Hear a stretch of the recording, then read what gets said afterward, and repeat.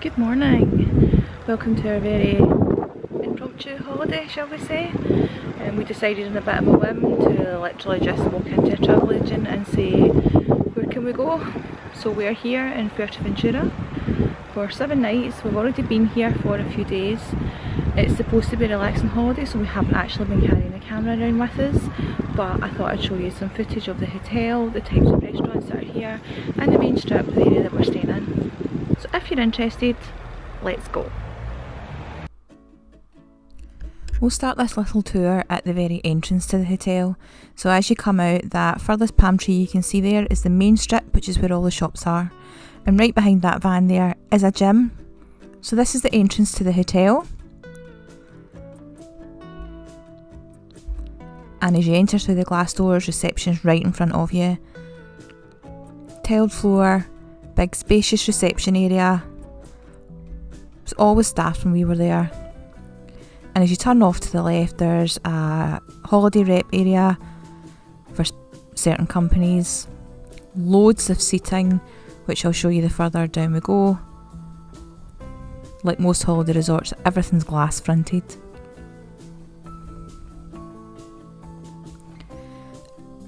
I chose to film this now because the reception area is empty, but there's usually always people hanging about here waiting on tours, waiting on excursions, or waiting on their buses to come and pick them up for their flights. This is the opposite end. And as you spin round to the left, this is where they display all the children's club programmes.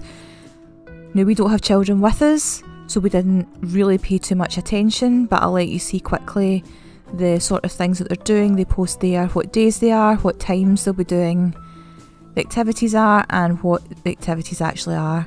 And as you can see, each day has a mini disco at 8:30 p.m.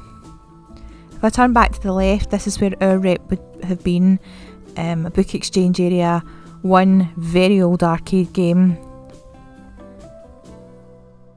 we were with Jet2 Holidays.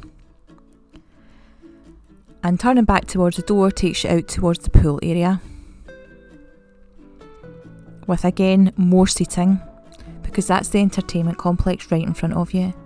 If you go to the left, there's a laundry, an air hockey machine, showers, and the toilets for the pool.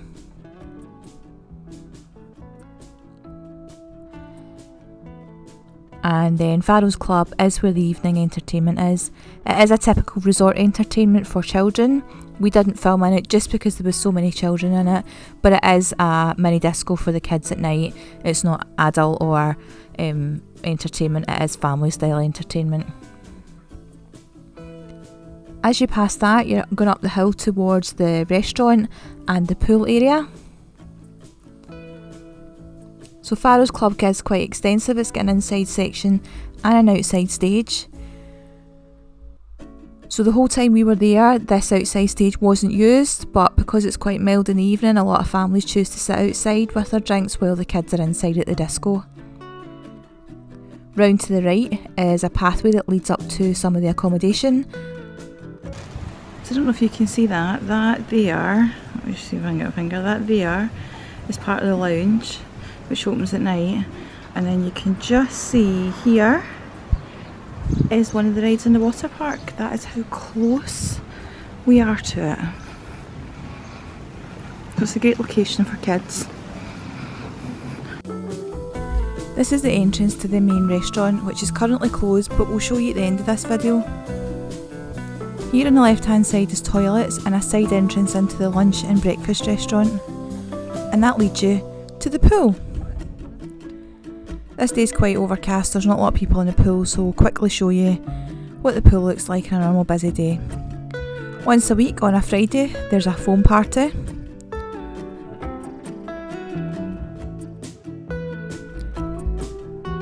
And as part of this, there is a giant inflatable in the deep end for anyone who wishes to be adventurous. We were sitting right at the foot of this.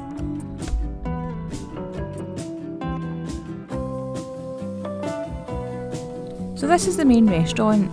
Now I don't know if it happens every week or once a fortnight or just while we were there in May, but this is a celebration to the Canary Islands. Uh, so this will let you see some local cuisines, but also the sample of this is just the salad bar, and I'm sure you'll find something for everybody to like here. We were here for the restaurant opening, so this was fresh out.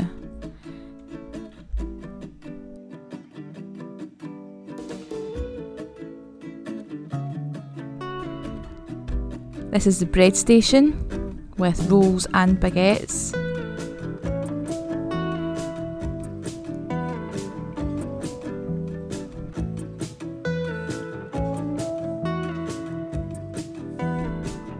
and a cheese station to create your own cheese board at the end of your meal. There was also a section beside this with jams and nuts.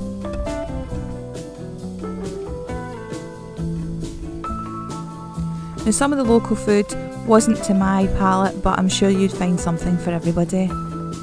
There was a fish stew, rice, and of course chips at the side of that. There was a separate station for children. This was salmon,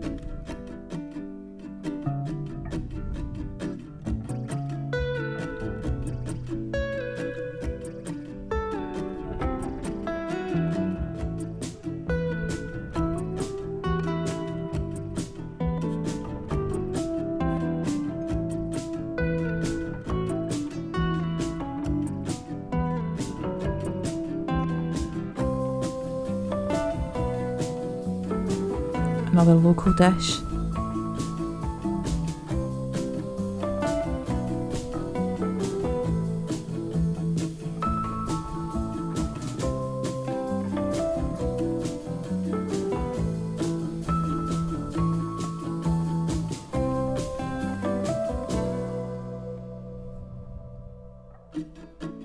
At the very end, there was a soup station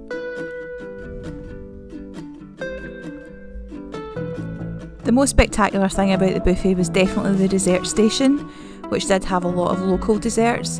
There was a cake, which you can see here looked spectacular. I found it a bit dry, but some people will have really liked it. That ice cream was really popular with the kids, so you had to make sure if you wanted some, you get in there first. Selection of toppings and syrups,